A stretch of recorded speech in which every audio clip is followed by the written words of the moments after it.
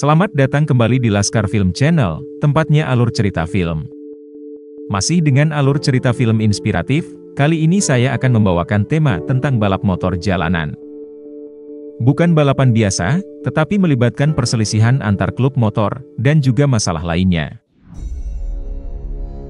Cerita dimulai, ketika terdapat dua mobil sedang ingin melakukan balapan.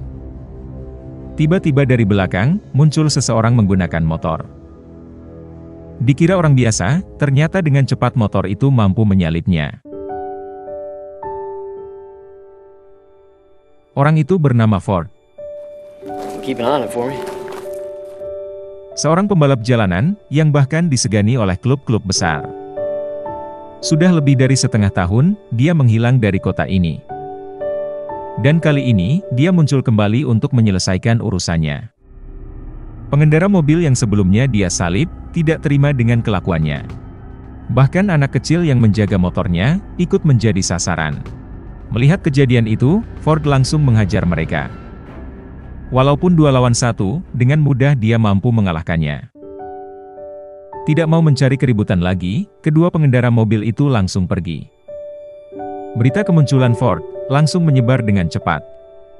Tentu saja yang pertama menemui adalah kedua sahabatnya, yang bernama Val dan Dalton. Mereka menyadari, kembalinya Ford ke sini pasti memiliki alasan penting. You don't have to make this run. Dan sebagai sahabatnya, mereka akan membantu, seberat apa pun masalahnya. Kini ketiga orang itu sudah bersama kembali. Untuk merayakannya, mereka melakukan balapan seperti biasa. Aksinya tersebut membuat kaget seseorang, yang bernama Junior. Dia tidak terima, dan langsung mengejar mereka bertiga.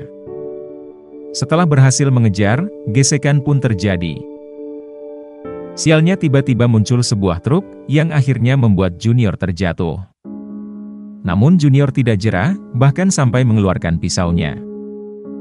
Ford yang tadinya tidak ingin ribut, langsung memukul dan menjatuhkan pisaunya. Tiba-tiba banyak motor datang, dan mengelilinginya. Ternyata, Junior adalah adik dari pemimpin geng motor terhebat di daerah ini, yang bernama Trey. Tentu saja orang itu mengetahui, siapa Ford sebenarnya.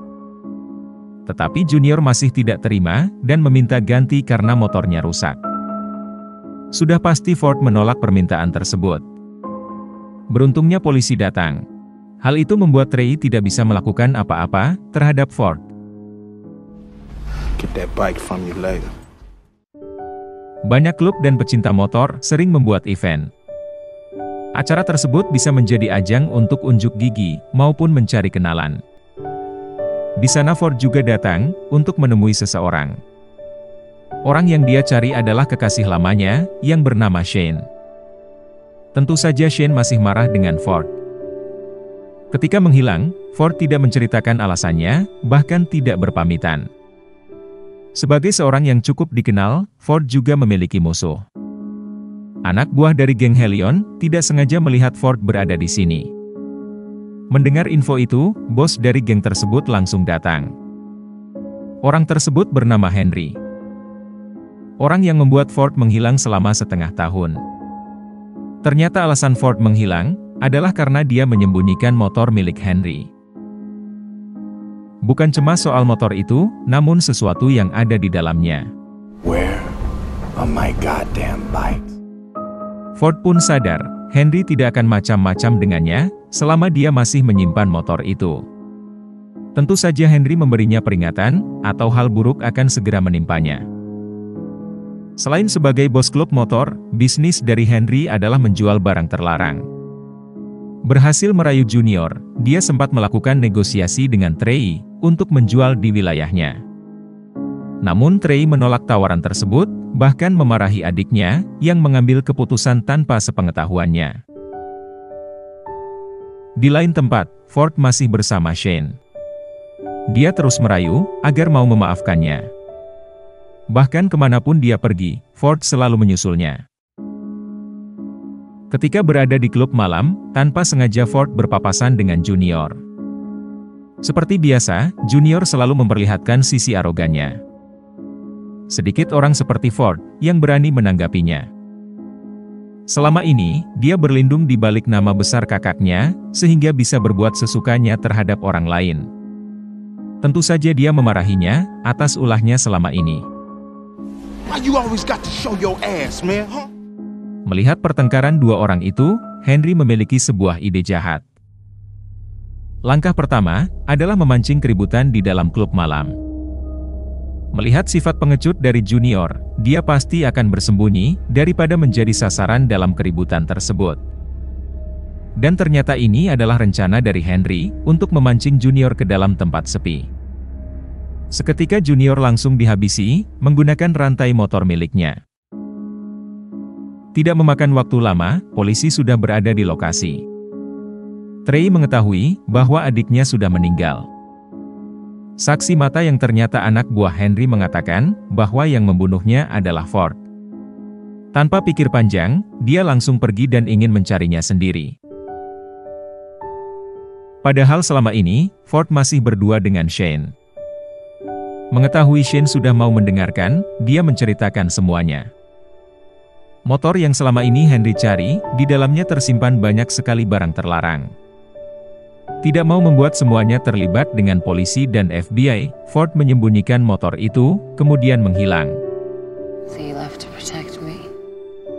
Setelah mendengar itu, sekarang semuanya menjadi jelas. Oleh karena itu, Shane memaafkannya. Agen FBI yang menangani kasus dari Ford, yang bernama McPherson, juga mendatangi TKP pembunuhan Junior. Berdasarkan informasi dari saksi, targetnya tersebut terkonfirmasi sudah kembali ke kota ini. Dia pun bersama agen lain bernama Nancy Drew, mencoba mencari keberadaan dari Ford. Sementara itu, Trey sudah mengumpulkan seluruh anak buahnya, dan juga melakukan hal yang sama. Semua sesuai dengan rencana dari Henry. Tinggal menunggu waktu, Ford pasti menemuinya. Ford yang menjadi buronan satu kota belum mengetahui, dan masih bersantai dengan temannya. Beruntung Shane sempat melihat berita itu. Kerry Ford, a white male in his late 20s. Tiba-tiba Henry menelpon.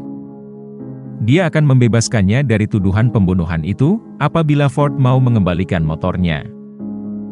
Tentu permintaan itu ditolaknya, karena sudah tidak percaya. Belum sempat memikirkan rencana, salah satu warga di sana mencoba menangkap Ford. Shane yang menyadari, langsung menodongnya dari belakang. Mereka semua harus segera pergi, sebelum keadaan menjadi lebih berbahaya. Info keberadaan Ford sudah tersebar. Baik FBI maupun Trey, langsung menuju ke lokasi. Sayangnya beberapa menit sebelumnya, mereka sudah pergi. Ford dan temannya melewati jalan tanah yang berbukit, agar mudah bersembunyi. Tiba-tiba geng motor milik Trey sudah ada di belakang. Menyadari itu, mereka dengan cepat bersembunyi. Trey kehilangan jejaknya. Sejauh matanya memandang, tidak ada tanda pergerakan. Ford memutuskan untuk bermalam di sana, sambil memikirkan langkah selanjutnya. Mereka mengetahui, alat untuk membunuh Junior adalah sebuah rantai. Mendengar itu, Dalton teringat akan sesuatu. Malam ketika kejadian, dia iseng memutus rantai dari motor milik Henry. Dan kemungkinan besar, rantai tersebutlah yang dipakai untuk membunuh Junior. Setiap mata rantai memiliki goresan sendiri, sesuai dengan sproketnya. Dan akhirnya mereka memiliki bukti, apabila mencocokkan antara rantai dengan sproket motor milik Henry.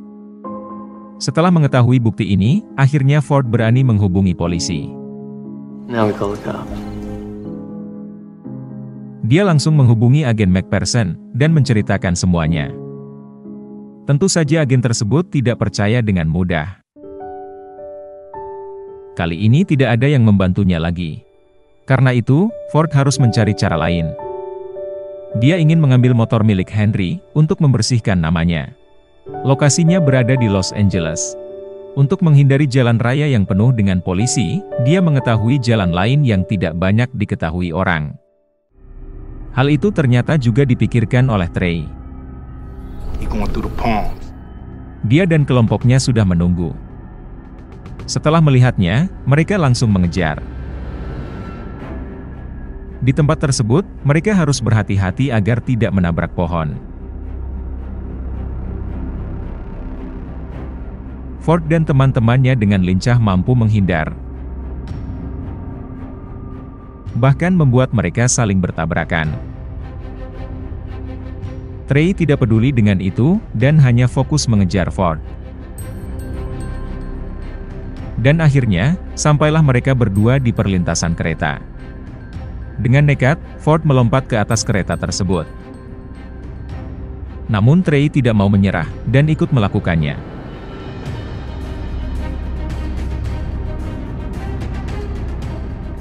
Untuk menghindari tembakan, Ford sampai menyelinap ke dalam gerbong penumpang. Dan akhirnya, aksi mereka menuntunnya sampai ke depan kereta. Ford berhasil keluar dari lintasan. Namun sayang, Trey terjatuh di atas rel tersebut. Tanpa pikir panjang, Ford kembali dan menyelamatkannya.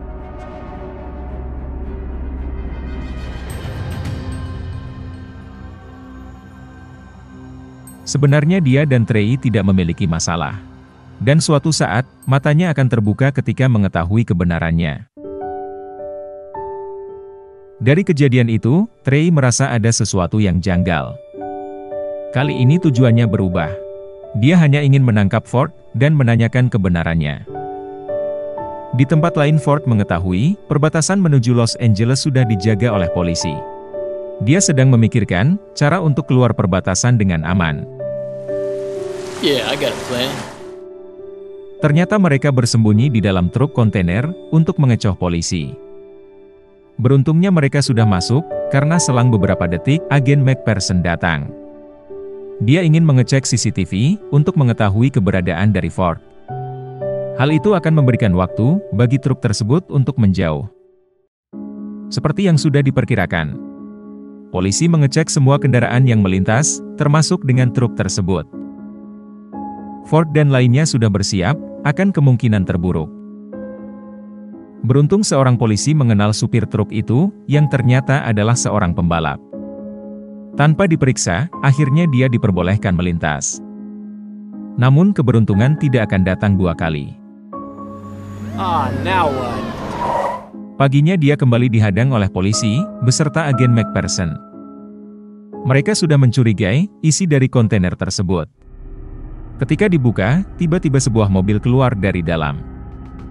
Ford dan lainnya sudah mempersiapkan ini, dan bergegas pergi.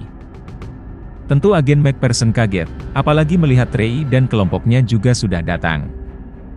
Trey ingin menangkap Ford lebih dahulu, sebelum para polisi. Ford tidak ingin teman-temannya tertangkap. Dia bertukar posisi dengan Dalton, dan ingin mengecoh semua yang mengejarnya. Dengan begitu, teman-temannya bisa sampai di Los Angeles lebih dahulu. Agen McPherson tidak bisa mengendalikan mobilnya, sampai terbalik.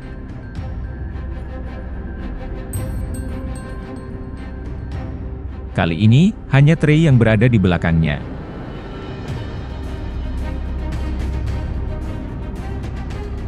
Tidak memakan waktu lama baginya untuk mengejar, bahkan sampai mengorbankan motornya untuk menjatuhkan Ford. Sudah tidak bisa lari, mereka pun akhirnya bertarung. Ketika posisi Ford lebih diuntungkan, akhirnya dia memberitahukan semuanya. Henry James. He set me up. Tentu Trey tidak langsung percaya, kecuali sudah melihat buktinya. Kemudian Ford membawanya ke tempat motor milik Henry yang dia sembunyikan. Dan ternyata benar, di dalam tangki tersebut tersimpan banyak sekali barang terlarang. Dengan begitu Trey akhirnya percaya, dan menuruti rencana dari Ford. Dengan alasan mengembalikan barangnya, Ford ingin menjebak Henry untuk datang. Trey juga sudah memerintahkan anak buahnya, untuk mengawasi area sekitar. Sambil menunggu, Ford menceritakan sebuah motor tercepat di dunia yang berada di gudang ini. Yaitu Y2K Turbine Superbike dengan mesin helikopter jet Rolls-Royce. Ketika ingin menjelaskan lebih lanjut, tiba-tiba agen MacPherson datang. Ford dan Trey kaget karena bukan Henry yang menemuinya. Nice work. Tiba-tiba MacPherson menembak agen Nancy Drew. Ternyata selama ini dia bekerja sama dengan Henry, terlebih soal penjualan barang terlarang. Namun Ford sudah menyiapkan rencana lain, apabila kejadian tidak terduga seperti sekarang. Dia ingin meledakkan tempat ini, sehingga tidak akan ada yang selamat. McPherson tidak punya pilihan, selain menyuruh Henry untuk ke sini. Kali ini situasinya makin buruk, karena Henry juga menyandera teman-teman dari Ford. Posisinya sudah kalah, dan dia tidak bisa meledakkan tempat ini. Ternyata agen Nancy masih hidup, kemudian meminta bantuan. Celah itu dimanfaatkan Ford dan Trey untuk menyerang.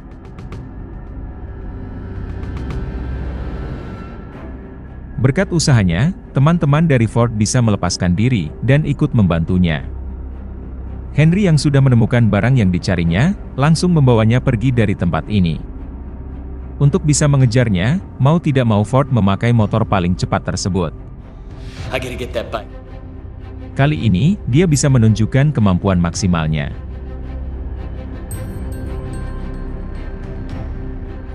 Pertarungan tidak hanya dilakukan oleh Ford. Para wanita juga menunjukkan kemampuannya. Dengan lincah, mereka sampai bertarung di atas motor yang melaju. Berkali-kali Shane diserang menggunakan pisau, namun dia menangkisnya. Ketika ada kesempatan, dia melompat dan menendang orang itu dari motornya. Dengan ini Shane menunjukkan, siapa wanita terkuat di sini. Sementara itu di tempat lain, Ford melaju dengan sangat kencang. Hanya dalam 10 detik, dia bisa mencapai kecepatan 200 mil per jam. Tidak mau terkejar, Henry menggunakan turbonya. Karena terlalu cepat, kendaraan lain hampir tidak terlihat.